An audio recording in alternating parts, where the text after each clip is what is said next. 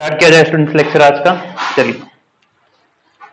Good morning students स्वागत है आपका आज के लेक्चर में और आज हम स्टार्ट करने जा रहे हैं एक न्यूमेरिकल प्रॉब्लम से ही स्टार्ट करेंगे लेक्चर को। आज वेलोसिटी ऑफ़ साउंड का एक फॉर्मूला अपने डिराइव करके उसके न्यूमेरिकल करने वाले हैं, ठीक है?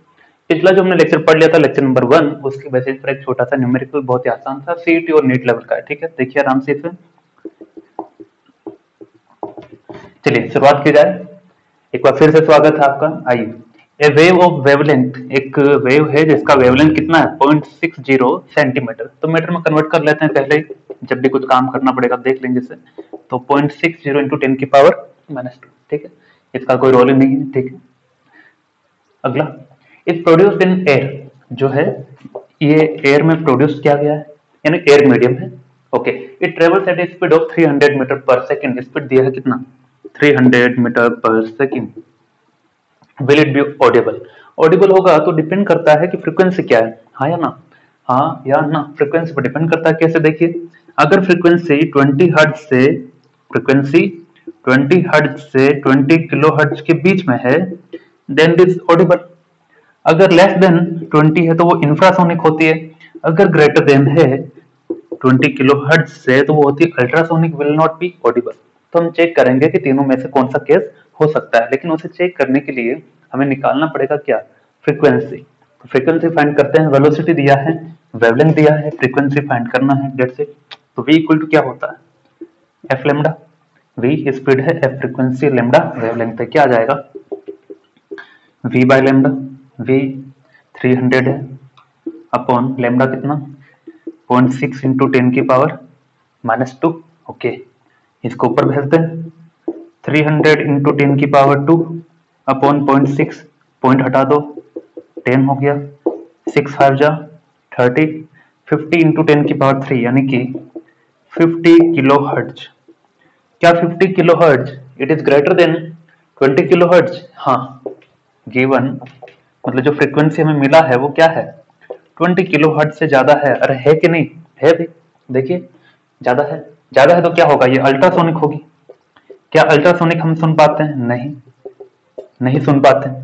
सो नॉट ऑडिबल यानी कि ये चमगादड़ वगैरह को ही सुनाई देगी या फिर अलग क्रिएचर कुत्ते वगैरह को सुनाई देगी, है ना? चलिए।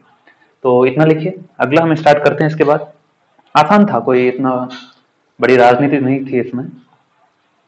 चलिए, लिखा जाए अगला, पढ़ते हैं। अब अपना आज का टॉपिक स्टार्ट होता है। वेलोसिटी ऑफ़ साउंड और साउंड कैसी वेव है? लॉन्गिट्यूडनल वेव है। थ्री डायमेंशनल है मैकेनिकल है, which requires medium to travel, which requires medium to pass through from one region to another region.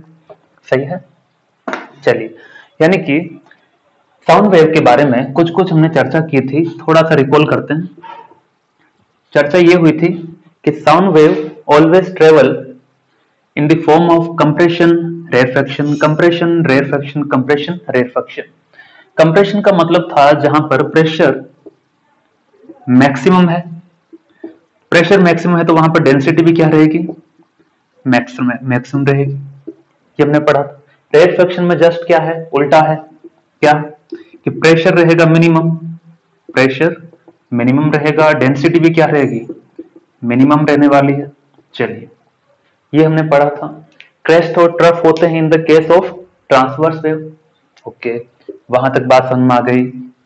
Pressure और डेंसिटी के रेस्पेक्ट में। उसके बाद हमने पढ़ा था कि साउंड वेव लॉन्गिट्यूडनल वेव है दिस डेट सारी चीज़ें बात की। अब हमने अपना जो अलग, अगला टॉपिक है, वो है वेलोसिटी ऑफ़ साउंड कि साउंड अगर ट्रेवल करता है तो ट्रेवल करेगा तो यहाँ तो एयर मीडियम में करेगा या फिर मीडियम कुछ भी, पानी में भी हम बोलते हैं। तो पानी में भी साउंड वेव ट्रेवल करती है, यानी कि मीडियम चेंज हो सकता है। लेकिन वेलोसिटी ऑफ़ साउंड क्या होगी? क्या हर बार सेम रहने वाली है? या हर बार डिफरेंट रहने वाली है? तो आपने देखा है कि नॉर्मली अगर आप रूम में खड़े हैं, जहाँ एयर मीडियम है, वहाँ बोलते हैं, थोड़ा धीमा सा बोलेंगे तब भी सुनाई देता है। पानी में चले जाइए, तालाब वगैरह में स्विमिंग पूल में, वहाँ से अंदर जाके बोलना। पता ही नहीं चलता क्या बोला है मतलब बोलते हैं, आवाज़ आती है, लेकिन बहुत ही कम। आवाज़ जो आती है, वो बहुत ही कम आती है। उसी का रीजन क्या है, वो हम देखेंगे कि हाँ मीडियम के साथ चीज़ें कैसे चेंज होती है, उसकी हम चर्चा करने वाले ठीक है? की जाए? ओके अब इसमें स्टूडेंट अगला अपना यह है। टॉपिक लगाइए velocity of sound velocity of sound velocity of sound और साउंड के ब्रैकेट में लिख लीजिए लॉन्गिट्यूडनल वेव यानी कि वेलोसिटी ऑफ़ लॉन्गिट्यूडनल वेव्स की बात कर रहे हैं या फिर साउंड वेव्स आप समझ सकते हैं। ठीक? चलिए कैमरा में एक बार चेक कर देता हूँ, फिर मुझे टाइम नहीं मिलेगा बीच में। चलिए ठीक दिख रहा है। वेलोसिटी ऑफ़ साउंड वेव में क्या है कि इन जनरल इन जनरल समझते जाएगा इसका डेरिवेशन अपने नहीं है। इसका डेरिवेशन अपने सिलेबस में नहीं है। साउंड वेव का जो स्टेट बोर्ड के अकॉर्डिंग सिलेबस है, काफ़ी कम है। जो हमने लगभग कवर कर लिया है कुछ कुछ दो तीन टॉपिक और रह गए, उन्हें कवर करेंगे। जिनका डेरिवेशन है, उनका मैं बताते चलूँगा। जिनका डेरिवेशन नहीं है, उनको हम न्यूमेरिकल पॉइंट ऑफ़ व्यू से पढ़ेंगे, ताकि क्वेश्चन आप सोल्व कर सकें, ठीक है? In general velocity of sound is given as v equal to square root of e by rho. V है वेलोसिटी e है elasticity. V है वेलोसिटी e है elasticity, ठीक? और रो है डेंसिटी रो क्या है? डेंसिटी है। चलिए रो हो गया डेंसिटी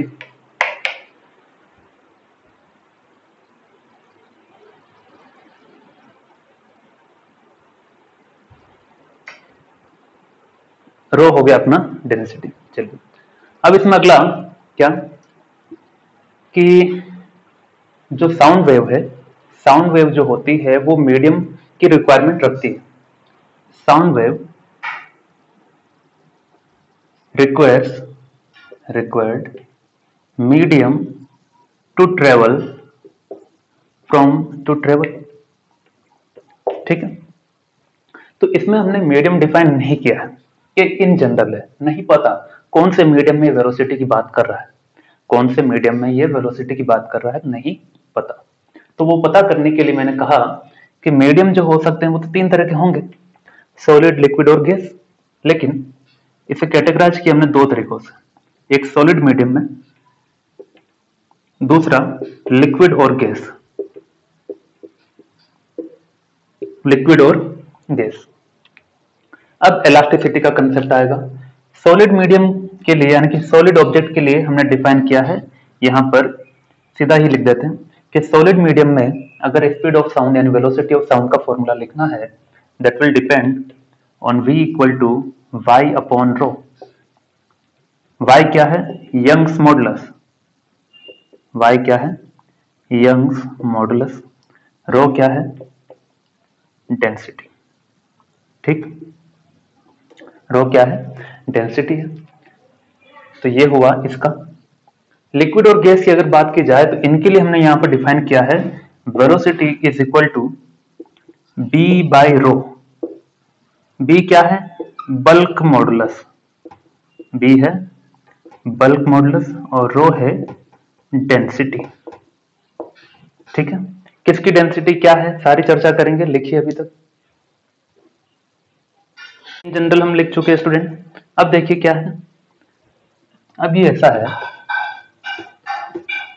कि चीज़ें कैसे चेंज होने वाली उसे समझते हैं। V equal to square root of E by rho इस फॉर्मूले का कोई मतलब ही नहीं रहा था जब तक कोई मीडियम डिफाइन नहीं हुआ, ठीक है? लेकिन हाँ स्टार्ट के लिए यहीं से चलना पड़ता है। फिर हमने कहा कि v equal to Y upon rho हो जाएगा, अगर ये सॉलिड मीडियम की बात करें तो। और v equal to B upon rho हो जाएगा, अगर ये बात करता है लिक्विड और गैस मीडियम की। सही? यहाँ तक चीज़ें क्लियर कट अब इसके बाद स्टूडेंट एक पॉइंट लिखिए, जो इलास्टिसिटी मैंने पढ़ा था, कि फॉर गैसेस फॉर गैसेस या फिर gases to bulk modulus we have defined for gases we have defined to bulk modulus. ये कहाँ पढ़ाया था? ये आपको लेक्चर नंबर वन या टू में प्रॉपर्टीज़ में पढ़ाया गया है तो उसको एक बार गो थ्रू कीजिए। बल्क मॉडल्स भी दो बल्क मॉडल्स पढ़ाए थे, दो छोटे से फॉर्मूले थे। पहला था isothermal bulk modulus.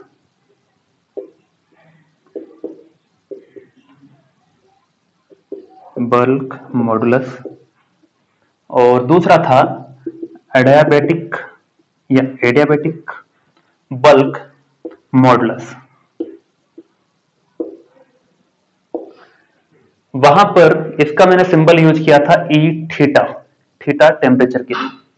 और यहाँ पर एडियाबेटिक के लिए मैंने यूज़ यहाँ पर जो दिखाया है ई e फाइव दिखाया है। यानी कि इलास्टिसिटी में ये दो पॉइंट जो पड़े थे, इसमें ई थीटा यूज़ हुआ था और यहाँ पर ई फाइव ए थीटा का वहाँ पर जो फॉर्मूला लिखा था E theta is equal to P pressure लिखा था। और ई फाइव इक्वल टू लिखा था गामा पी गामा वही रेशियो है सीपी ओवर सीवी अब हमें क्या करना है? इसी कंसेप्ट का हम यूज़ करने वाले हैं यहाँ पर वेलोसिटी ऑफ़ साउंड के फॉर्मूले में। तो ये पॉइंट लिखिए, आगे बढ़ते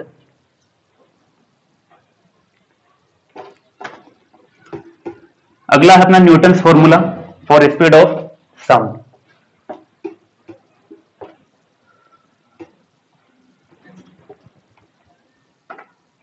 लिखिए Newton's formula for speed of sound. Newton's का क्या कहना था इसमें? देखते हैं। न्यूटन का कहना है कि अगर साउंड वेव ट्रेवल करती है किसी गैस मीडियम से, यहाँ पर अपने लिए गैस मीडियम कौन है? हम हवा की बात कर रहे हैं, यानी कि एयर की बात कर रहे हैं। तो उसके लिए वेलोसिटी का जो फॉर्मूला था डिफाइन हुआ था क्या? बी बाय रो अभी हमने पढ़ा कि लिक्विड और गैस के लिए क्या होता है? बी अपॉन रो होता है। लेकिन न्यूटन के अकॉर्डिंग कुछ चेंजेस थे। क्या थे? उनका कहना था कि साउंड वेव जब किसी गैस मीडियम यानी कि एयर के थ्रू प्रोपेगेट करता है तो ये जो प्रोसेस होगा, वो आइसोथर्मल प्रोसेस होगा। आइसोथर्मल प्रोसेस यानी कि टेम्परेचर क्या रहने वाला है? कांस्टेंट रहने वाला है।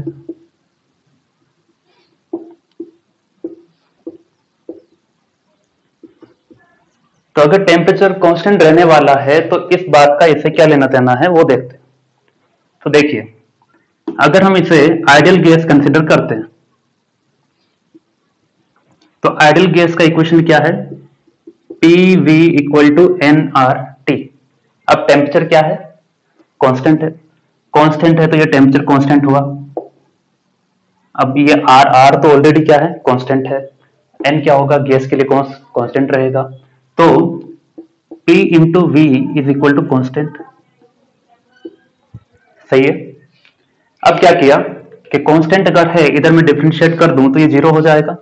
ठीक है? फिर आगे की हम चर्चा कर सकते हैं। तो हम क्या कर रहे हैं? डिफ्रेंशिएट कर रहे हैं both side differentiating both side तो यहाँ मैंने लिखा D for differentiation of P multiplied by V is equal to D for differentiation of constant ये मिटा दे रहा हूँ ऊपर वाला।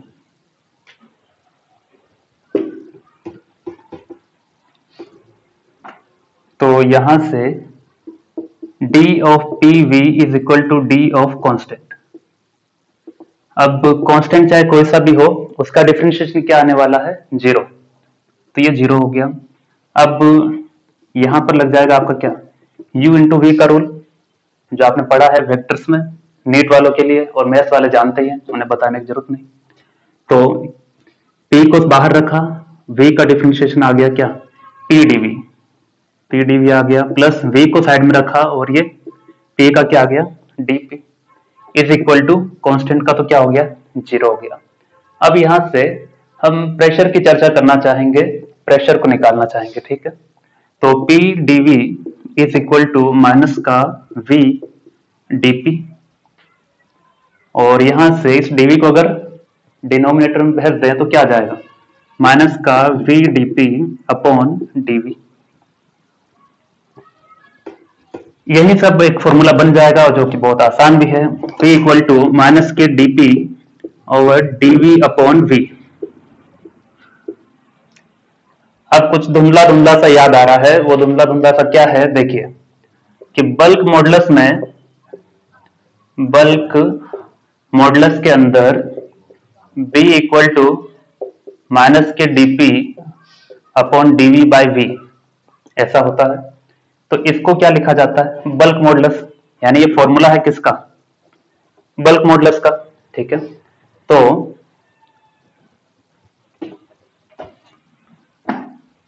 यहाँ से इसी के आगे। P इक्वल टू ये पूरा जो टर्म है वो क्या बन गया है? बल्क मॉडलस कब बना ये बल्क मॉडलस जब आपने कंडीशन लगाई क्या? टेम्परेचर क्या होना चाहिए? कांस्टेंट तो ये कांस्टेंट टेम्परेचर यानी कि आइसोथर्मल के लिए। सही तो B I is equal to क्या आ जाएगा यहाँ पर? टी आ जाएगा। और यहाँ पर आइसोथर्मल के लिए यहाँ पे क्या लिखेंगे? बी आई और बी आई का वैल्यू यहाँ पुट करते हैं फाइनली तो क्या आ जाएगा? V equal to square root of B I इसका वैल्यू रखो p अपॉन रो इसको लिखो, फिर से मैं पूरा एक बार टू दी पॉइंट बताता हूँ कि क्या हुआ इस पूरा घटनाक्रम में, ठीक है? देखा जाए इसे। ये कुछ ब्राइटनेस तो ज़्यादा ही बढ़ गई है इसकी। फ्रेंड देखिए, अब मैं पूरा रिकॉल करवाता हूँ कौन सी घटना कहाँ हुई है। मुझे यकीन है, समझ में नहीं आया होगा। आया है तो बढ़िया है। देखिए लिक्विड और गैस के लिए वेलोसिटी का फॉर्मूला आया था क्या? बी अपॉन रो सही है? लिक्विड और गैस के लिए फॉर्मूला आया था। ये हम बात कर रहे हैं गैस के लिए अब, ठीक है? तो न्यूटन आए। न्यूटन ने कहा कि एक साउंड वेव है ट्रेवल कर रही है गैस मीडियम से। तो ये साउंड वेव थी। तो न्यूटन का एजम्पन था कि ये जो प्रोसेस है, वो क्या होगा? आइसोथर्मल प्रोसेस होगा। आइसोथर्मल प्रोसेस होगा। अगर आइसोथर्मल प्रोसेस होगा that means temperature will be constant temperature will be constant ठीक? तो उसने कहा कि आइसोथर्मल के लिए बी अपॉन रो आप लिखते हैं। सही? तो मैंने बी नहीं लिख करके यहाँ आई लिखा और ये रिप्रेजेंट कर रहा है आइसोथर्मल बल्क मॉडलस को।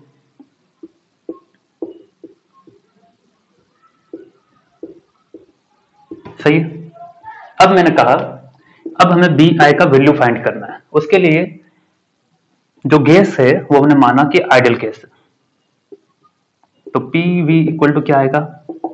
एनआरटी तो मैंने कहा, ये कांस्टेंट है तो ये तो दोनों वैसे भी कांस्टेंट है पी इक्वल टू कांस्टेंट आया। ठीक है? फिर दोनों तरफ़ हमने डिफ्रेंशिएट किया। वो मैं वापस नहीं बता रहा। ठीक है? P इक्वल टू माइनस के D P upon D V over V ये कहानी क्या है? बल्क मॉडलस की है। ये बल्क मॉडलस की कहानी कब आई? जब टेम्परेचर क्या था? कांस्टेंट था, यानी कि आइसोथर्मल प्रोसेस था, इसलिए मैंने इसे बी आई लिखा, यानी कि आइसोथर्मल आइसोथर्मल बल्क मॉडलस यानी कि सीधा सा है, वहाँ पी पुट कर देना है। तो फाइनल फॉर्मूला आ गया पी अपॉन रो करेक्ट ये था। मतलब सीधा सा आपको ये रट लेना है पी अपॉन रो कि न्यूटन ने बताया कि वेलोसिटी जो होगी वो बी पी अपॉन रो होगी। P is the pressure and rho is the density ठीक है? तो अब हम इसकी जाँच करेंगे क्या उसने सही बताया था। क्या उसने सही बताया था इस बात की हम जाँच करना चाहेंगे। कैसे करेंगे? देखिए।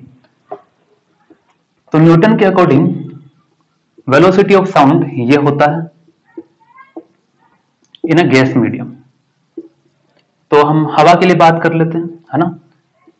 गैस ही है। हम बात कर लेते हैं हवा के लिए। For air for dry air medium मतलब सूखी हवा है एकदम हमने मानी है। मतलब ये एयर मोल हवा है चारों ओर, उसमें साउंड वेव ट्रेवल कर रही है। बताओ उसकी स्पीड तो प्रैक्टिकली भी नो टेंथ क्लास में हम पढ़ रहे हैं कि वेलोसिटी ऑफ़ साउंड कितना होता है? Three three two meter per second यही आना चाहिए, है ना? यही आना चाहिए। तो हम चेक करेंगे, क्या इस फॉर्मूले से वही आता है क्या? ठीक है? चलिए देखा जाए। P अपॉन रो तो for dry air medium at NTP normal temperature and pressure इसका फुल फॉर्म क्या? नॉर्मल टेम्परेचर एंड प्रेशर इस नॉर्मल टेम्परेचर एंड प्रेशर की कंडीशन पर प्रेशर का फॉर्मूला क्या? वैल्यू क्या? 1.01 point zero one into ten की power five newton per meter square density of a dry air it's 1.293 kilogram per meter की value put करते हैं, ठीक है? Then we will get the answer 1.01 point zero one into ten की power five upon one point two nine three सब कुछ MKS में है तो आंसर जो आना मीटर पर सेकंड में आना है, इसे सॉल्व करेंगे you will get around 280 meter per second अरे रे रे इसने तो पूरा काम ही खराब कर दिया, क्या? आना तो चाहिए था थ्री थ्री टू और ये लेकर आया टू एटी क्या काम का ऐसा वैज्ञानिक? है क्या नहीं? लेकिन काम का है। कैसे? हमें ये तो पता चला कि प्रैक्टिकली वैल्यू कितनी थ्री थ्री टू यानी कि practically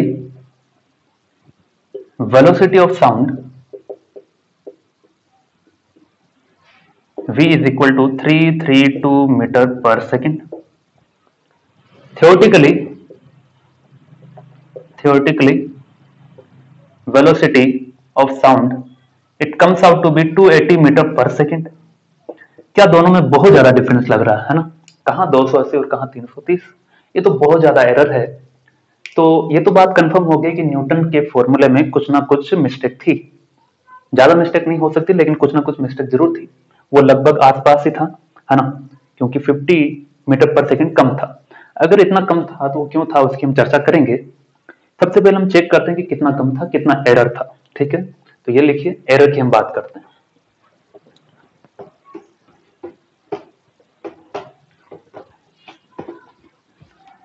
तो V practically error percentage of error original value minus theoretical upon original into hundred यही तो होता भी। नाइन्थ क्लास में पढ़ा था, जब मैं बहुत छोटा था, है कि नहीं? ऐसा आपको कहना था, मुझे ओरिजिनल वैल्यू है थ्री थ्री टू और कितना मिला? टू एटी अपॉन ओरिजिनल फिर से कितना? Three three two into hundred percent इसको सॉल्व कर लीजिए, कितना आ जाएगा? इट्स अराउंड सिक्सटीन परसेंट बहुत बड़ा एरर है भैया तो है कि नहीं? अगर फिजिक्स में प्लस माइनस पाँच परसेंट हो तो कहा जा सकता? हाँ भाई यू आर गुड इनफ लेकिन सिक्सटीन परसेंट बेवकूफ़ी कर दी, इसे अब इग्नोर नहीं किया जा सकता।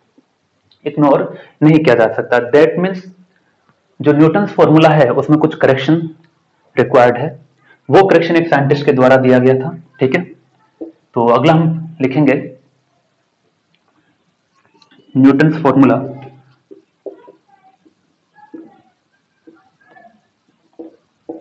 रिक्वायर्ड करेक्शन तो ये करेक्ट फॉर्मूला नहीं मिला, ये हमें याद रखना है, ठीक है? चलिए।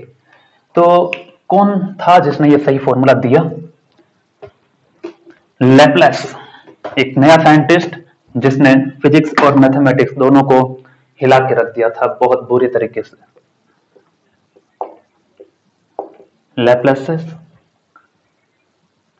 करेक्शन उसने कुछ करेक्शन किया। क्या करेक्शन किया? उसने कहा कि जो साउंड वेव है, मान लो वो ट्रेवल कर रही है। मान लो वो ट्रेवल कर रही है। गैस मीडियम में ट्रेवल कर रही होगी क्योंकि हम गैस मीडियम की बात कर रहे हैं। और यहाँ अपने लिए गैस का मतलब है एयर मीडियम ठीक है?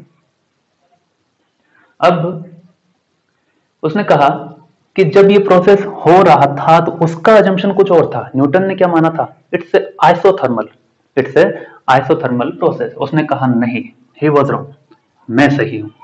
एडियाबेटिक प्रोसेस उसका क्या कहना था? एडियाबेटिक प्रोसेस है ये। एडियाबेटिक प्रोसेस है that means there will be no exchange of heat no exchange of heat ठीक है?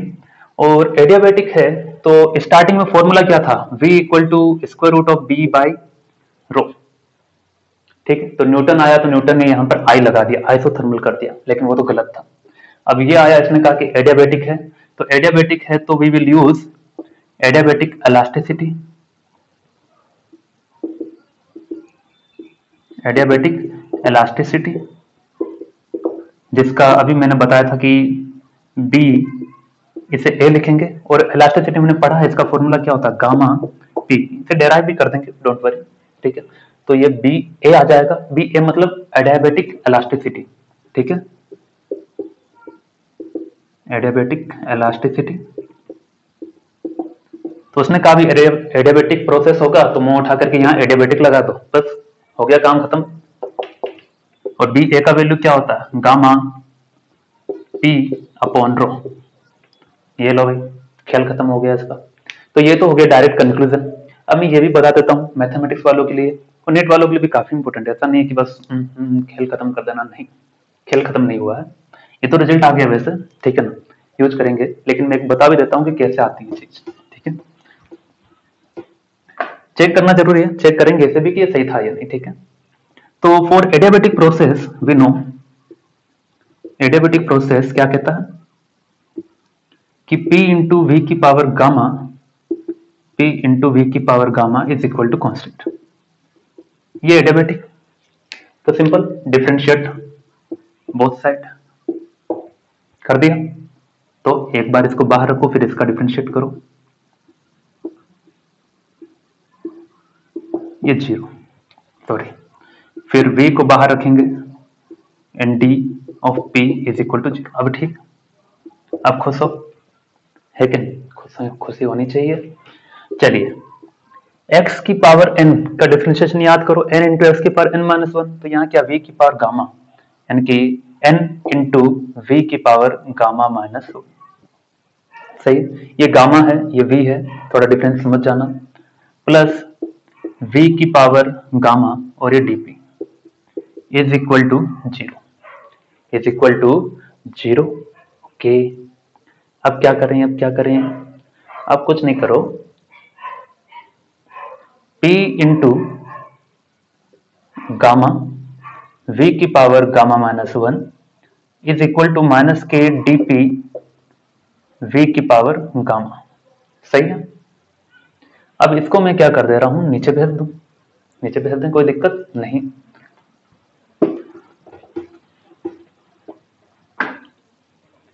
मैं यहाँ लिख देता हूँ एक बार। प्यारे विद्यार्थियों, ध्यान से देखते रहिए। नज़र हटी और दुर्घटना यहाँ पे घट जाएगी कि कब कौन सा वेरिएबल कहाँ चला गया।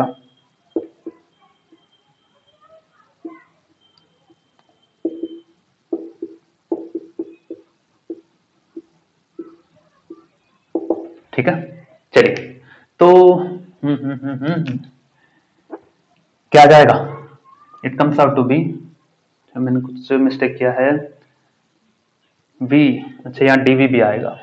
वी के साथ डीवी भी आएगा लास्ट में है ना? तो ये वाला डीवी मिस हुआ है यहाँ पर। चलिए तो यहाँ डीवी भी आ जाएगा ठीक है? ये लिख लेना भाई डीवी डीवी डीवी तो यहाँ लिख देते हैं। अरे लास्ट में वी का होगा ना? तो डीवी तो आएगा ही, है ना? जैसा पिछली बार आया था P into V equal to constant ठीक है? तो अब सोल्व करते हैं। माइनस के D P upon D V ये v की पावर गामा ये तो dv है। V की पावर गामा इंटू वी की पावर माइनस वन लिख सकते हैं। ये खेल खत्म। अपॉन dv और वी की पावर माइनस वन यानी कि अपॉन वी यही क्या है? बल्क मॉडुलस खत्म, है ना?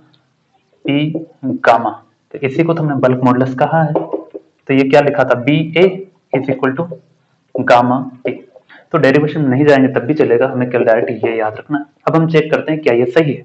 जी हाँ। आइए, जल्दी आइए।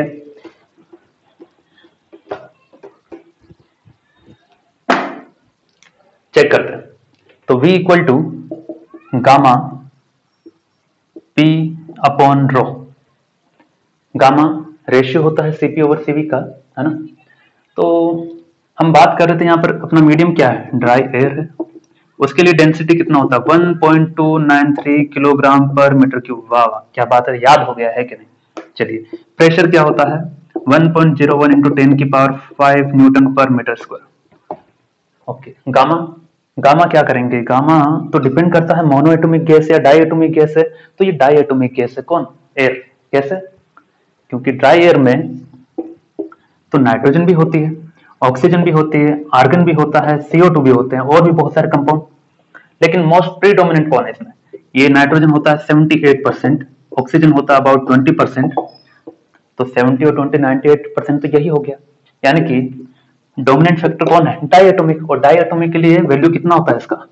1.4 तो गामा का वैल्यू है 1.4 for air medium value put कर देते हैं, खेल खत्म करते हैं इसका। आइए वैल्यू पुट कीजिए, कितना आता बताइए।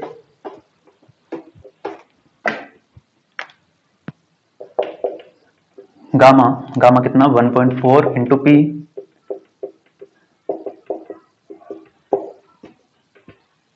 rho rho कितना?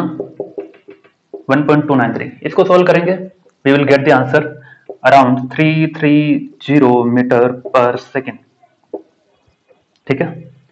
तो जो कि एकदम करेक्ट है है ना? एकदम क्या है? करेक्ट है। यानी कि लेप्लेस ने जो बताया था, वो घटना सही थी। कहाँ पर बताया ये? फॉर एनटीपी ये सारी हमने घटना कहाँ की है? NTP normal temperature and pressure पर। ओके तो आखिरकार हमें फॉर्मूला मिल गया। जो लैपलास ने बताया तो हमें ये रट लेना है, यही दिमाग में छाप लेना है, इसी से सवाल बनने वाला है, ठीक है? चलिए। और चर्चा करते हैं थोड़ी सी। अभी मन नहीं भरा है कि नहीं? पढ़ करके। तो v equal to square root of gamma p upon rho gamma p upon तो ये है वेलोसिटी ऑफ़ साउंड फाइनली जो हमें पता चली और जो कि एकदम करेक्ट आंसर भी देता है। ठीक है? करेक्ट आंसर भी देता है। तो उससे पहले एक छोटा सा मैं रिकॉल करवाता हूँ चीज़ों को फिर से याद करवाने के लिए। कि गैस मीडियम में हमने कहा कि वेलोसिटी इक्वल टू होगा square root of B by rho सही? बी बल्क मॉडल था रो डेंसिटी फिर एक साइंटिस्ट आया न्यूटन न्यूटन ने कहा कि प्रोसेस जो होगा, वो आइसोथर्मल होगा। तो हमने कहा कि आइसोथर्मल है तो मैं क्या करता हूँ? बी आई लिख देता हूँ। बी आई मतलब आइसोथर्मल बल्क मॉडलस ठीक है? फिर एक दूसरा साइंटिस्ट आया लेप्लस उसने कहा कि प्रोसेस जो होगा, वो क्या होगा? एडियाबेटिक होगा। तो मैंने कहा, ठीक है, तुम्हारी बात ही मान लेते हैं। तो बी ए लिख दिया ए फॉर एडियाबेटिक ठीक है? अपॉन रो दोनों की बातें मानी, हमने चेक करना चाहा कौन सही है तो इसके लिए इसका फॉर्मूला निकल के आया कि v इक्वल टू होता है p अपॉन रो यानी कि बी आई का वैल्यू क्या होता है? P, जो हमने इलास्टिसिटी में डिफाइन किया था। ठीक है? तो डायरेक्ट आपको याद रखना डेरिवेशन नहीं जानना। बी ए कितना आया था? गामा p अपॉन रो इसने वैल्यू दिया मुझे 280 इसने मुझे वैल्यू दिया 330 तो दिस वन इज़ करेक्ट ये गलत। तो ये जो गलत है, वो भी दिमाग में रखना, है ना? गलत सवाल भी बना करके सही में पूछेगा।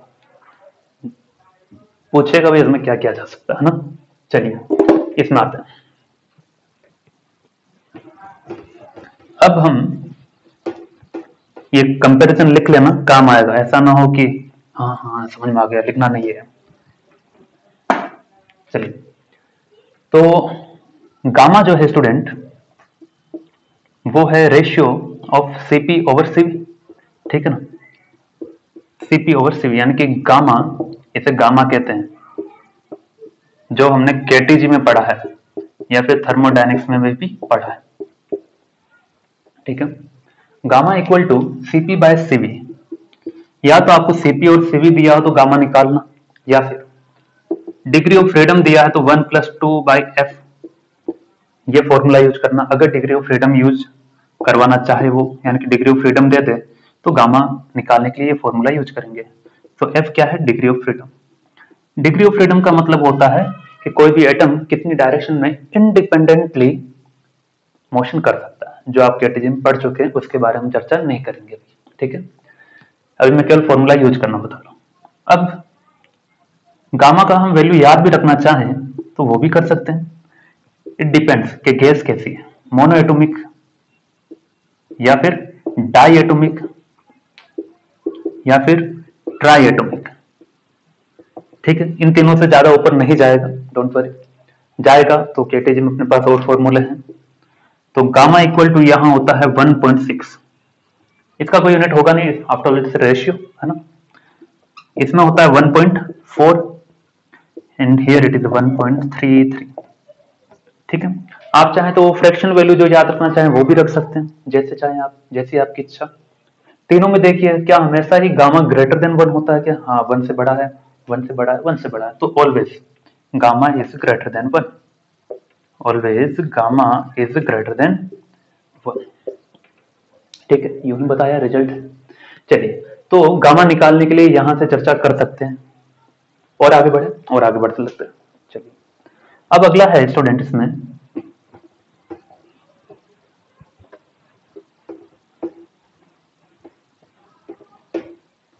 अगला ये है कि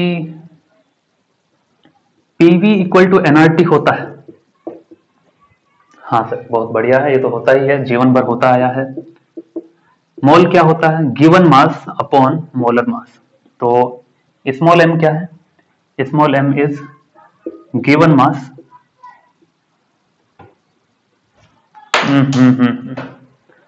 इसे भी आज ही गिरना था। आज क्या भी ही गिरना था। चलिए गिवन मास और कैपिटल एम क्या है? मोलर मास ठीक है? चलिए तो into R multiplied by T okay okay okay okay अब इसको मैं यहाँ लिखता हूँ, इधर लाओ इसे. P V equal to small M upon capital M R T V को हटाया वी को यहाँ लिखा. वी को यहाँ लिखना है ना? ये लीजिए वी लिखा. तो ये देखिए मास अपॉन वॉल्यूम डेंसिटी होती है क्या? हाँ डेंसिटी होती है। यानी कि P equal to density R T upon capital M तो P by rho P by rho या फिर simple P upon rho is equal to R T upon M यानी कि इस P बाय रो की जगह में क्या लिख दूँ? आर टी अपॉन एम लिख दूँ? लिख सकते हैं, यानी कि ये भी फॉर्मूला यूज़ कर सकते हैं, प्यार बच्चों। गामा और पी बाय रो की जगह क्या लिखेंगे? आर टी अपॉन एन तो आर टी अपॉन एन लिख लीजिए जल्दी से। तो दोनों फॉर्मूले काम आएँगे न्यूमेरिकल पर्पज के लिए, ठीक है? इसमें ए आई ट्रिपल पर एक बार सवाल पूछा गया, यानी कि जे मेन्स पर। और नीट में तो काफ़ी बार ये फॉर्मूला ही पूछ लिया था कि पी बाय रो क्या होता है। और सी टी में सिंपली फॉर्मूला पूछा जाता है। फॉर्मूला और formula best question on the topic molar mass molar mass को वो कंसेंट्रेट करके सवाल पूछता है इसमें। देखते हैं कैसे। तो यहाँ से स्टूडेंट पता चलता है कि v इक्वल टू क्या है? Square root of gamma R T upon M camera check करता हूँ, चल भी रहा है कि नहीं? चलिए चल रहा है। तो गामा तो क्या है? रेशियो है। स्पेसिफिक हीट्स का। आर क्या है? गैस कांस्टेंट ठीक है, इसको एसआई में रखेंगे।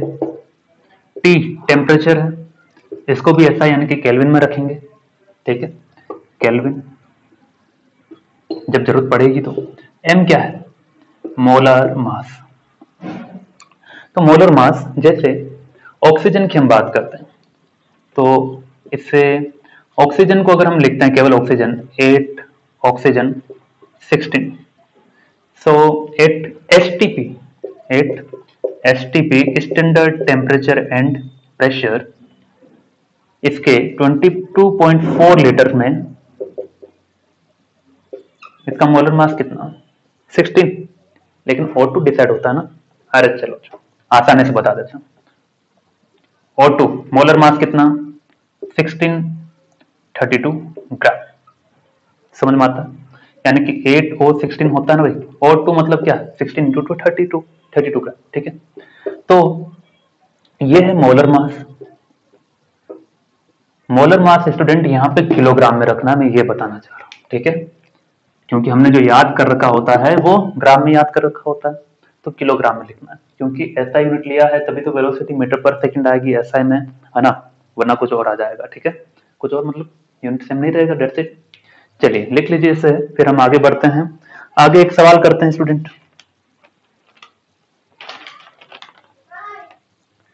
चलिए सवाल लिखा जाए। Air triple E two thousand eight में आया हुआ है। सवाल है ये। The speed of sound in oxygen the speed of sound in oxygen bracket में दिया है O2 two at at certain temperature at certain temperature is 460 metre per second ठीक है? 460 metre per second the speed of sound in helium the speed of sound in helium helium helium is is is is, is rm Rm. Helium is at the same temperature.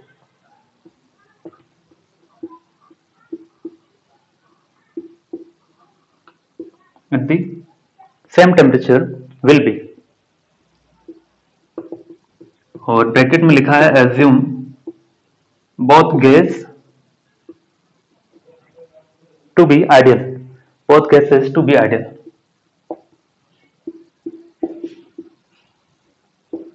और option A B C and D okay क्या जाएगा? Option A दिया है 500 आएगा क्या वो तो नहीं पता। 500 है, दूसरा है 650 650 metre per second option C 330 330 and lastly 1420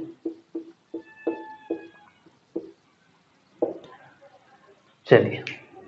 तो स्पीड ऑफ़ साउंड का फॉर्मूला अपने पास ये है। गामा पी अपॉन रो ठीक है?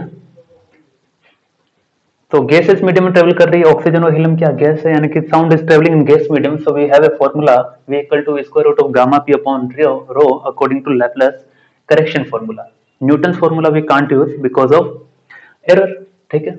उसे यूज़ करना ही नहीं। और यहाँ टेम्पचर की बात हो रही तो हम टेम्पचर वाला भी फॉर्मूला जानते हैं, क्या? Gamma R T upon M सही? तो हम क्या करते हैं कि वेलोसिटी ऑफ़ ऑक्सीजन इसने दिया है कितना? 460 metre per second okay the speed of sound in helium helium में पूछा है। ओके. ऑक्सीजन जो है स्टूडेंट वो डाई है या mono atomic to be continue बीच में छोटा सा ब्रेक हो गया था। वेलोसिटी ऑफ़ ऑक्सीजन कितना दिया है? 460 metre per second velocity in helium हमें फाइंड करना है। तो ऑक्सीजन जो है वो क्या है? डाई एटोमिक है। तो डाई गैस है तो गामा कितना आ जाएगा? 1.4 है। हीलियम कैसा है? मोनो एटोमिक है। तो मोनो एटोमिक है तो गामा इसके लिए कितना हो जाएगा? 1.6 तो चेक करना है कि दोनों के लिए अगर टेम्परेचर सेम रखा जाए टेम्पचर क्या रखा गया? सेम तो हम इस फॉर्मूले को ही यूज़ करेंगे। टेम्पचर क्या रखा गया? सेम रखा गया। है तो हीलियम के लिए हीलियम वाले केस में आपको स्पीड बताना है। ठीक है, देखते हैं। बहुत ही आसान है। इतना आसान तो मैंने अपने जीवन काल में नहीं देखा है। तो वेलोसिटी ऑफ़ हीलियम हमें फाइंड करना है और वेलोसिटी ऑफ़ ऑक्सीजन तो क्या आ जाएगा? हीलियम हीलियम का फॉर्मूला हीलियम अपन ऑक्सीजन लिखता हूँ डायरेक्ट है ना? gamma of helium into RT upon molar mass of helium divided by gamma of oxygen RT molar mass of oxygen MO2 लिखा है mass molar mass of oxygen ठीक है ना? चलिए। तो ये वैल्यू हम पता है और ये निकालना इसलिए मैंने रेशियो निकाला है, ठीक है? आसान सी बात। तो स्क्वायर रूट में दोनों को एक साथ लिख देते हैं।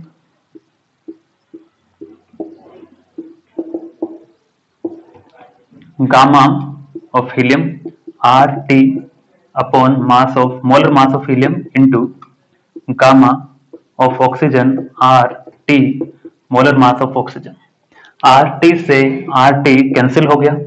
सही है? तो वैल्यू पुट कर देते हैं, है ना? चलिए। तो वैल्यू पुट करते हैं, कहाँ पहुँचेंगे, देखते हैं।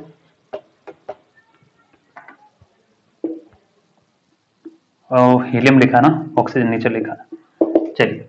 तो velocity of helium over velocity of oxygen gamma of helium कितना? Gamma for helium it comes out to be कितना है?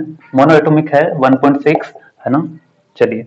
Molar mass of oxygen 32 molar mass of helium 4 हो गया। Molar mass sorry gamma of oxygen it's 1.4 correct okay oxygen वाले भी speed को उधर formula multiply कर देते हैं। V helium is equal to V oxygen into point से पॉइंट हट जाएगा, यानी कि 16 इंटू बत्तीस upon four into fourteen calculation mistake हो तो देख लेना, ठीक है? और ऑक्सीजन का कितना है? Four six zero multiplied by this तो इसको मल्टीप्लाई करो सोल्व करो ऑप्शन आप कमेंट कर सकते हैं। जैसे दो तीन स्टूडेंट है जो काफ़ी एक्टिव हैं तो काफ़ी अच्छी बात है ये कि वो आंसर देते हैं। आई अप्रिशिएट देयर एफर्ट ठीक है? लिखिए इसे। और एक अंतिम सवाल मैं आपको होमवर्क के लिए भी देता हूँ। सेम ऐसा ही, कुछ ज़्यादा हार्ड नहीं है।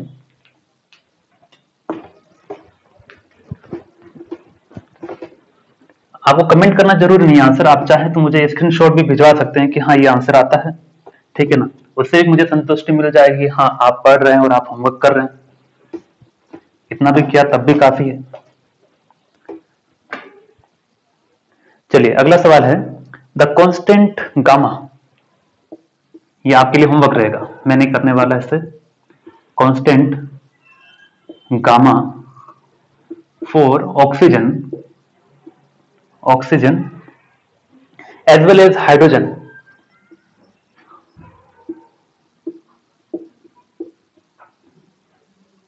as well as hydrogen is 1.40 1.40 given है, ठीक है?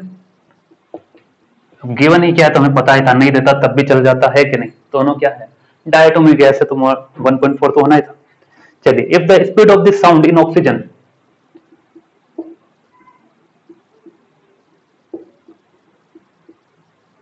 in oxygen is कितना? This one is given 470 meter per second.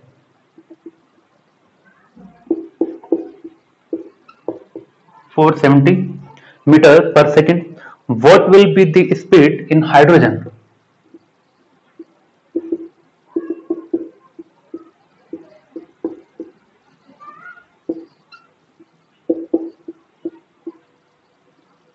What will be the speed in hydrogen at the same temperature and pressure at the same temperature and pressure. अच्छा अभी आपने एक सवाल ध्यान दिया होगा। अभी जो मैंने फॉर्मूला करवाया था हीलियम अपन ऑक्सीजन जो भी लिखा था, उसमें मोलर मास मैंने ग्राम में लिखा था, है ना? आपने सोचा होगा, मैंने कहा किलोग्राम में, क्योंकि रेशियो था ना तो ग्राम में लिखो या kilogram it will get cancel out that doesn't matter single अगर आप अप्लाई कर रहे हैं, तब उस चीज़ का ध्यान रखना है, ठीक है? तो इसका फॉर्मूला देखिए गामा दिया है ऑक्सीजन के लिए गामा दिया है हाइड्रोजन के लिए 1.4 1.4 मोलर मास इसका हम जानते हैं ऑक्सीजन का कितना? 32 32 हाइड्रोजन का कितना हो जाएगा? टू। चलिए, इसके बाद आपको क्या कर देना? अप्लाई कर देना। कोई कैलकुलेशन मिस्टेक हो तो यू कैन टेल ठीक है? चलिए तो बस वही करना है। वो स्पीड दिया है ऑक्सीजन में। और आपको निकालना कहा है? हाइड्रोजन निकाल देना। आंसर इसका आएगा आपका 1880 है ना? 1880 मीटर पर सेकेंड। क्रॉस चेक कर लेना। नहीं आए तो मुझे बताना और अगर आंसर आता है तो मुझे आप स्क्रीनशॉट भिजवाइए, ताकि मुझे संतुष्टि हो कि आप कर पाए, ठीक है? चलिए हाँ सही है, यही है। ओके, अब अगला स्टूडेंट क्या करने वाले हैं? अगला ये करने वाले हैं कि नेक्स्ट लेक्चर में हम क्या करने वाले नेक्स्ट लेक्चर में पढ़ेंगे factors which can which affect the speed of sound ठीक है? कौन कौन से फैक्टर है जो इफ़ेक्ट कर सकते हैं? अच्छा इसमें थोड़ा सा हिंट भी दें क्या? हिंट ऐसा दे सकते हैं कि यहाँ पर कहा टेम्परेचर और प्रेशर दोनों सेम है। टेम्परेचर और प्रेशर दोनों सेम है तो क्या करें? तो ये करो कि कोई सा भी फॉर्मूला लगा सकते हो। चलो, आप कर लेना। चाहो तो ये भी कर लेना। ये फॉर्मूला लगाओगे, तब भी हो जाएगा गामा पी अपॉन रो और वो लगाओगे, तब भी हो जाएगा, ठीक है? क्योंकि प्रेशर सेम है pressure will cancel out gamma will cancel out rho बचेगा। रो को क्या लिखेंगे? जो भी लिखना चाहो, है ना? चलिए। तो इसी के साथ आज का लेक्चर हम कंप्लीट करते हैं। और आपको कोई डाउट आए या कुछ भी समझ ना आए तो आप मुझे बताए। ओके टाटा